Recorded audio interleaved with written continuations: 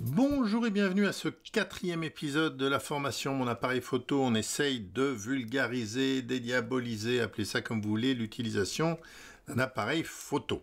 Aujourd'hui, on va parler d'un paramètre qui est pour moi un des plus importants, le plus créatif en tout cas, c'est l'ouverture et on va regarder un peu comment tout ça marche. Alors, on a des prérequis comme la dernière fois. Les, bah, le premier prérequis, c'est d'avoir vu les épisodes d'avant, puisque les épisodes d'avant, je vous présente le boîtier, je vous présente l'objectif, et je vous présente ce que vous voyez dans le viseur. Donc, je pars du principe que ça, c'est acquis. Donc c'est important d'aller voir ces épisodes d'avant si vous voulez pas vous retrouver euh, un peu euh, paumé ou en tout cas si vous êtes grand débutant avec un appareil photo, ça vous fera pas de mal d'aller voir ces épisodes. Comme pour les épisodes précédents, la batterie est chargée, la batterie est dans le boîtier, vous avez mis une carte mémoire dans l'appareil. Tout ça, ça se trouve, je vous l'ai déjà dit, dans les premiers chapitres de votre manuel utilisateur. Si vous n'avez pas votre manuel utilisateur, vous allez sur Internet, vous mettez le nom de votre appareil photo avec manuel utilisateur derrière dans Google et vous tomberez sur votre manuel utilisateur sans trop de problèmes. Et si vous n'y arrivez pas, vous me laissez un message et je vous dirai où le trouver. Vous savez évidemment allumer votre appareil photo et vous avez repéré le déclencheur. Le déclencheur, c'est ce qui vous permet de prendre une photo. C'est généralement un gros bouton qui se trouve assez naturellement quand vous prenez votre appareil avec la main droite. Il va se trouver sous l'index de votre main droite. Euh, dans les prérequis, comme pour l'épisode précédent, vous vérifiez que vous êtes bien en autofocus. Donc ça, c'est la partie du haut. Vous voyez, vous avez sur les objectifs des petits AM et MF, mais attention, des fois c'est sur le boîtier, comme ici avec un Canon R7, vous avez euh, ça euh, sur le boîtier. D'accord? Si vous avez des choses comme ça, avec marqué full ou ainsi de suite, vous mettez sur full. Si vous avez des choses sur stabilisation on-off, c'est pas très important pour cet exercice. Mettez-le sur on de toute façon, comme ça vous l'oublierez pas. Ensuite, important par rapport à l'épisode d'avant où on s'était mis en mode auto, là on va se mettre ce qu'on appelle en mode A. Alors, A ou AV, d'accord Vous voyez, donc là c'est AV, là c'est A, là c'est A, là c'est A. Et A, c'est pour aperture, et aperture en anglais, ça veut dire ouverture. Donc, on est bon, c'est ce mode-là qu'on veut euh, trouver, donc vous le mettez en A. Ensuite, vous avez d'autres prérequis. Euh, posez votre appareil photo sur une table ou par terre. D'accord? Il faut qu'il soit stable. Pourquoi? Parce que on risque d'avoir des temps de pause un peu élevés, donc comme ça on se prend pas trop la tête et comme ça il est posé très bien. Euh, il faut que votre pièce soit quand même éclairée relativement bien, donc faites ça en pleine journée, euh, sur la table du salon, la table de la cuisine, pas loin d'une fenêtre, quelque chose comme ça, ou dans une pièce où vous avez des, lumières. C'est mieux si vous êtes relativement bien éclairé, ça sera plus facile pour vous rendre compte du résultat. Ensuite, il faut avoir repéré la molette qui permet de changer la valeur de l'ouverture. Et euh, je vous ai mis différents exemples. Généralement, ça se trouve soit pas loin du déclencheur. Là, vous voyez ici, ça se trouve euh, là, on l'a là. Là, ça se trouve ici, c'est pareil, le déclencheur, il est là. Euh, ou ça peut se... Là, on va faire le, le canicone, c'est pareil, vous avez une molette ici. Mais ça peut se trouver aussi derrière l'appareil, en fait, là où naturellement vous avez votre pouce. Donc vous avez votre déclencheur sur l'index et vous avez une molette pas loin du pouce que vous allez pouvoir euh, tourner. Donc ça, on va voir comment vous allez pouvoir repérer ça. D'accord? Mais essayez de trouver une molette quelque part sur votre appareil, ça vous aidera. Et ensuite, on va poser son appareil, on va mettre devant un objet. Alors là, j'ai mis une pomme, mais ça, vous verrez dans l'exemple que j'ai fait, c'est une espèce de, verre ou de tasse, vous appelez ça comme vous voulez. Et un mètre plus loin, vous mettez une autre pomme ou un autre objet légèrement décalé.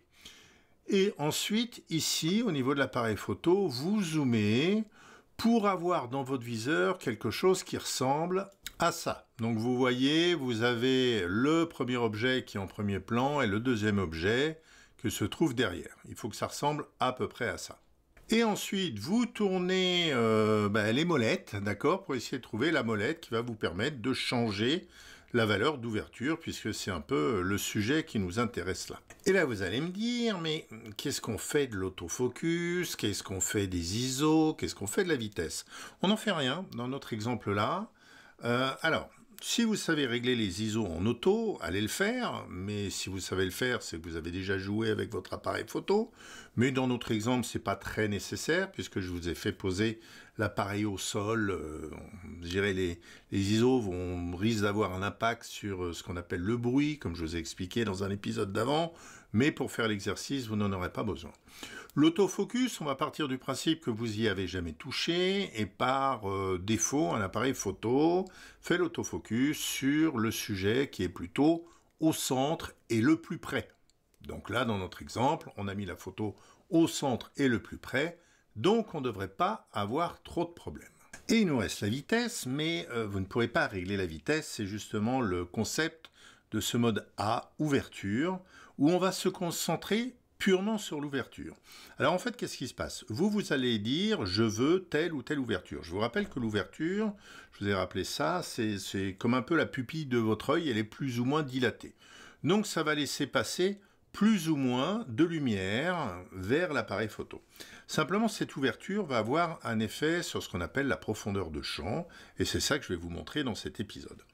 Donc l'appareil, qu'est-ce qu'il fait? Il dit, ok, mon, mon propriétaire a décidé que l'ouverture, ça serait tant. Maintenant, comment l'appareil va s'arranger pour que votre photo soit exposée correctement? Je vous rappelle qu'exposer correctement, c'est ni trop sombre, ni trop clair. En fait, votre appareil va mesurer la lumière ambiante, et il va dire, OK, euh, j'ai besoin de euh, régler un certain nombre de paramètres. Mon propriétaire a dit qu'il voulait ça comme ouverture, très bien. Donc je vais mettre la vitesse à temps et je vais mettre les ISO à temps pour avoir une photo qui est éclairée correctement. Donc en fait ce mode A se concentre uniquement sur cette ouverture. C'est d'ailleurs pour ça qu'il est assez pratique et on verra dans un épisode prochain qu'il existe un mode S comme speed qui lui va regarder plutôt cet aspect vitesse.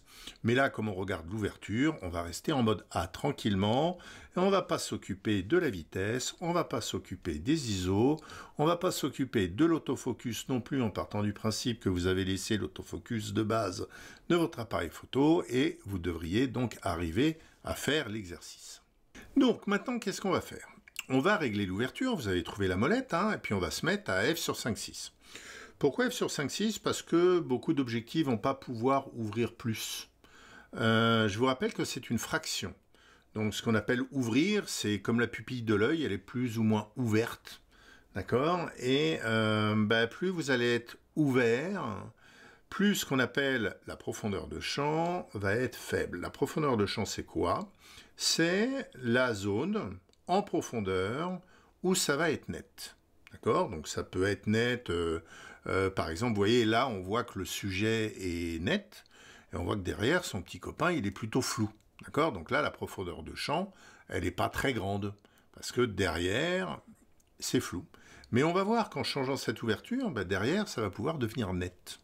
Et c'est là où je dis que c'est quelque chose de créatif, puisque ça va vous permettre, dans des portraits, on verra ça avec quelques images d'exemple, d'avoir une zone très nette, le reste tout de suite flou, et ça va vous permettre à l'inverse, dans un paysage, d'avoir un arbre au premier plan qui est net, et d'avoir toute la montagne derrière qui est nette aussi. Donc ça va servir à ça l'ouverture. Donc là, on se met sur 5-6, très bien, on est notre sujet bien au centre. Sur l'écran, on voit des choses qu'on a déjà vues. Tout en haut, et bah, il vous dit qu'il est en mode AV ce coup-ci. Euh, vous vous souvenez, quand on a fait l'épisode d'avant, il y avait auto, bah là il vous dit AV. Il y a toutes les informations sur le nombre de photos, il y a le fait que c'est stabilisé, tout ça, je vous l'ai montré. En bas, on a l'ouverture. Et vous avez un petit symbole, hein, d'ailleurs, sur cet appareil qui vous dit avec quelle molette vous pouvez changer l'ouverture. Parce que cet appareil a une molette devant et une molette derrière. Ça, c'est symbole de la molette plutôt devant. Ensuite, vous avez les ISO auto, vous avez 55 euh, mm, c'est la focale.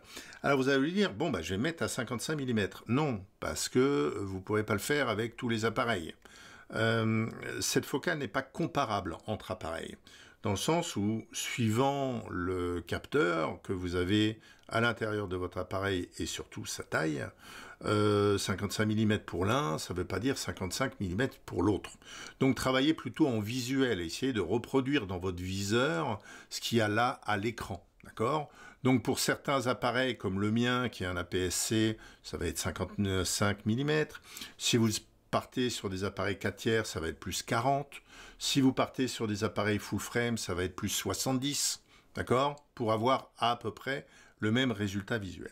Et là, vous avez quelque chose que vous avez encore euh, jamais vu, euh, je pense. Oui, on l'a pas vu dans, en mode auto ici. C'est quelque chose qui vous permet de choisir si votre photo va être plus foncée ou plus claire. Ça, on est déjà dans des modes assez avancés. On verra ça plus tard. Pour l'instant, on regarde vraiment le truc de base et l'impact des paramètres de base.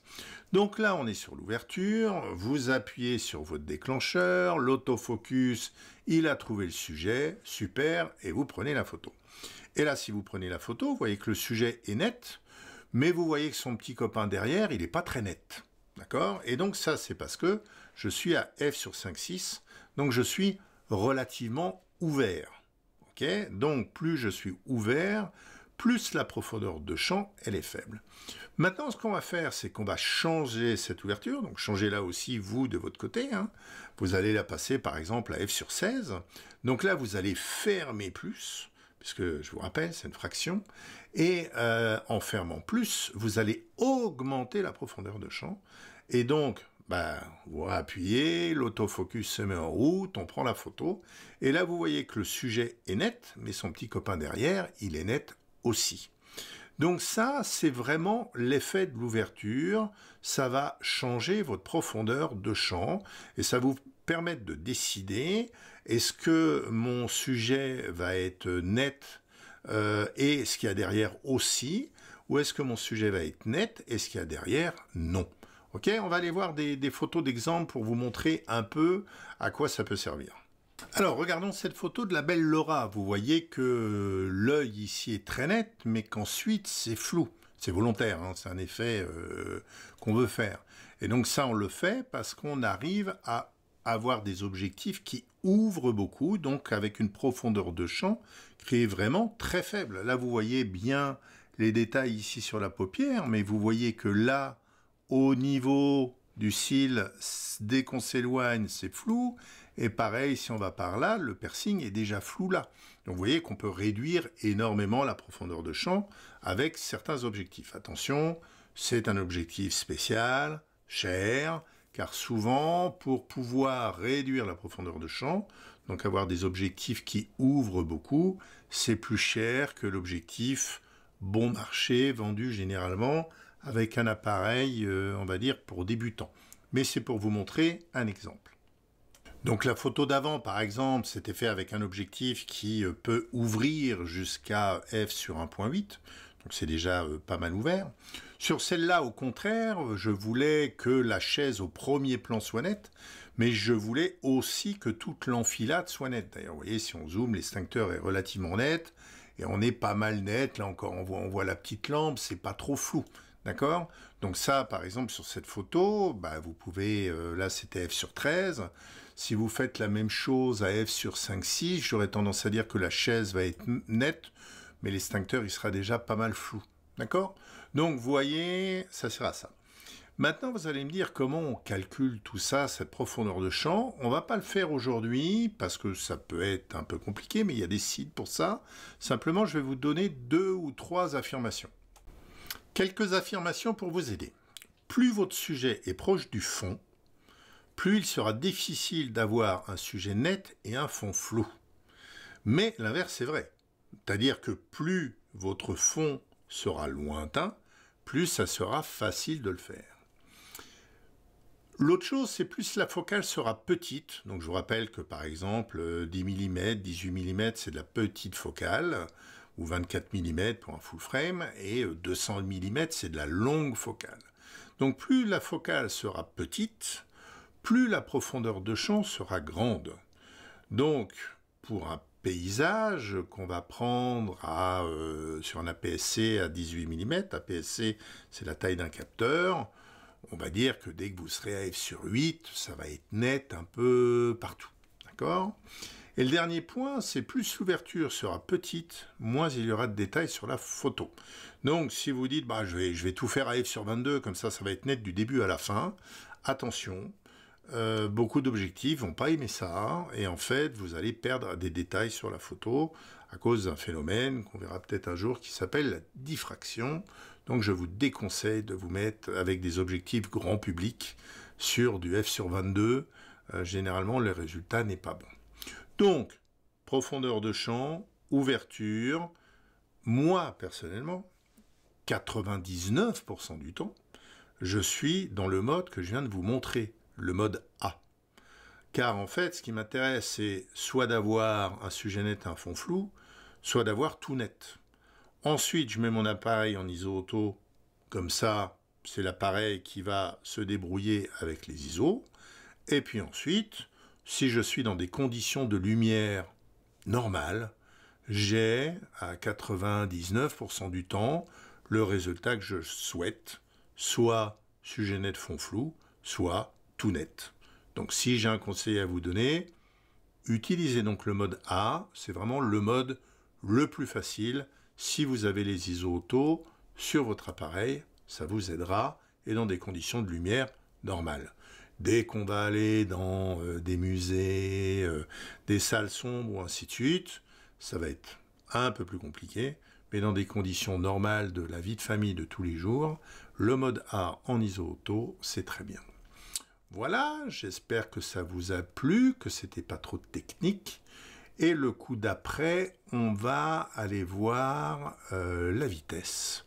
Et je vais essayer de vous montrer à quoi ça peut servir sans toujours trop rentrer dans la technique. Je vais quand même, on va quand même aller voir un, petit truc à la fin, un petit site web qui peut vous aider. Le premier site que je voulais vous montrer, c'est le mien, euh, vous tapez https www.wiwiphoto.fr. Pourquoi? Parce que j'ai toute une série d'articles là-dessus pour les débutants qui sont des articles de vulgarisation des notions. Vous voyez que j'ai l'exposition, l'ouverture, la vitesse, la focale, la profondeur de champ. Donc si on va sur l'ouverture, d'accord, on va aller voir ça. Et là, je vous parle de la pupille, je vous explique comment ça se, euh, ça se, pas se mesure, mais en quoi ça s'exprime, d'accord Et tout ça, ça peut servir après, si vous allez à la profondeur de champ, vous allez avoir plus d'informations, d'accord, avec différents tests et des choses comme ça. Donc ça, si vous voulez avoir un support papier de la formation que je suis en train de vous faire, sur le site wiphoto.fr, vous trouverez. L'autre site que je voulais vous montrer, c'est alors il est, il est pas sexy sexy, mais je l'utilise depuis des années. Euh, c'est un site qui s'appelle DOFmaster. DOF, c'est pour Depth of Field, ce qui veut dire profondeur de champ. D'accord? Et donc, en fait, ça vous permet avec ce site-là de... Alors, on doit pouvoir le traduire, je suppose, traduire, traduire en français. Euh, voilà, très bien. Appareil photo, euh, format de film ou cercle de confusion. Donc là, vous pouvez par exemple prendre votre appareil photo. Alors il y en a euh, toute une série, d'accord? Si vous ne trouvez pas le vôtre, vous prenez un appareil où vous savez que le capteur est équivalent, si vous connaissez cette notion. Autrement, vous, me la demandez euh, en message, je vous dirai ce qu'il faut aller prendre ici pour votre appareil. On va prendre par exemple un 7D, qui est un capteur à PSC, donc ça se trouve entre le capteur 4 tiers et le capteur full frame. Et là, vous allez pouvoir dire ben, quelle est ma distance focale, d'accord? Vous allez pouvoir dire quelle est mon ouverture, et vous allez pouvoir dire quelle est ma distance, d'accord, avec le sujet.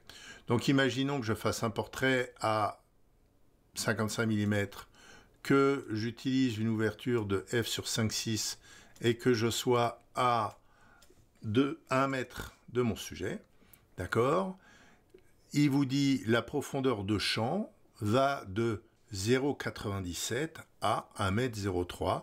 Donc j'ai une profondeur de champ de 7 cm. Donc 7 cm, ça ne fait pas la, profondeur d'un visage, par exemple. Donc là, vous allez avoir, par exemple, si vous faites la mise au point sur les yeux, vous aurez les yeux qui vont être nets, vous aurez le bout du nez qui va être légèrement flou, et vous aurez les oreilles qui vont être floues, par exemple. D'accord? Et puis en soi, ensuite, il vous donne plein d'autres informations comme la distance hyperfocale, mais tout ça, on verra ça un autre jour sur mon site. Avant, je vous ai expliqué ce que c'était euh, l'hyperfocal, mais rentrez pas euh, forcément là-dedans tout de suite. C'est un peu compliqué.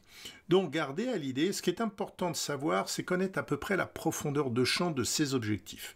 Si vous avez par exemple un appareil photo euh, à capteur APS-C avec l'objectif standard qui fait le 18-55, d'accord?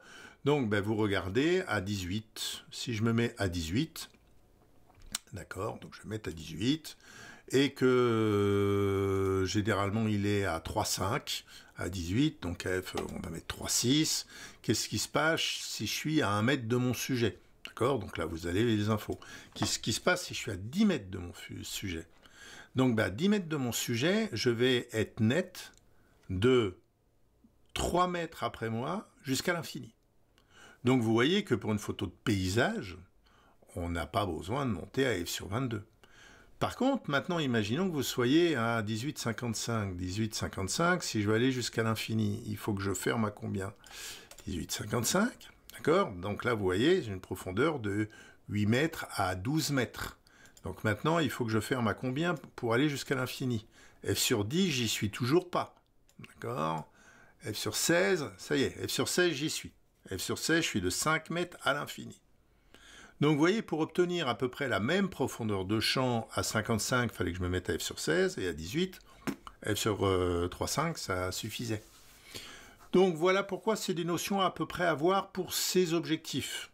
Comme ça, quand on est en train de composer une photo, on dit attends, j'aimerais que ça, ça soit plutôt dans le flou, plutôt dans le net, et vous savez à peu près quoi régler dans euh, votre objectif. Alors, on verra que certains appareils ont des simulateurs ou des testeur de profondeur de champ. Moi personnellement, euh, comme j'ai des lunettes, j'ai pas une visée qui est très très propre euh, et j'arrive pas trop à voir à l'intérieur de mon viseur la différence. Mais ça existe, ça existe, ça permet de, de se rendre compte avant de prendre la photo à peu près ce qu'on aura. Mais ça c'est pareil, on verra ça une autre fois. On a déjà vu beaucoup de choses aujourd'hui. Je vous laisse digérer tout ça. Donc, je ne vais pas vous laisser sans un petit exercice, évidemment. Donc, ben, l'exercice, c'est de refaire ce qu'on a fait dans cet épisode. Donc, vous mettez votre appareil, un objet un peu plus loin à 1 mètre, un autre objet un peu plus loin à 1 mètre. Vous vous mettez en mode A, vous repérez la molette pour changer l'ouverture, vous faites une première photo à euh, f sur 5,6 et vous constatez que ce qu'il y a derrière est plutôt flou et ensuite vous fermez plus, par exemple à F sur 16, et vous constatez que ce qu'il y a derrière est plutôt net. Voilà, c'est ça l'exercice, arriver à refaire la manipulation que j'ai faite là avec votre appareil. Puis si vous n'y arrivez pas, bah, vous me laissez un petit message, soit euh, sur le blog, soit euh, sur YouTube, en me disant quel appareil vous avez, les problèmes que vous constatez, et on essaiera de régler ça. Voilà, merci, au revoir.